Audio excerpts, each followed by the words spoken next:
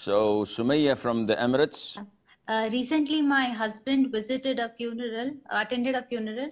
So he saw there women uh, were allowed to come in the graveyard, and then they prayed uh, behind the men funeral prayer.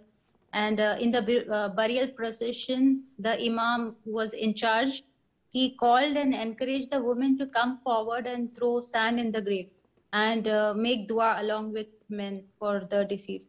So, is this allowed in Islam? Okay. As far as I'm aware, women are not allowed to visit the graveyard. Okay, I will answer inshallah. Sumaya from the Emirates. She says that some scholars they say that it is permissible for women to enter uh, a cemetery and to participate in the burial uh, process and to throw some sand to the grave. So what's the ruling on that? It's an issue of dis- dispute. It is an issue of dispute among scholars whether women can attend or go to graveyards or not.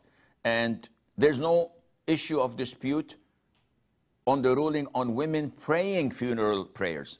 This is totally legit. But the problem is in them entering a graveyard or a cemetery.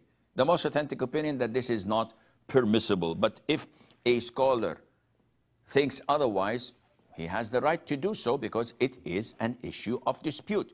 It's not Simon says and you have to obey.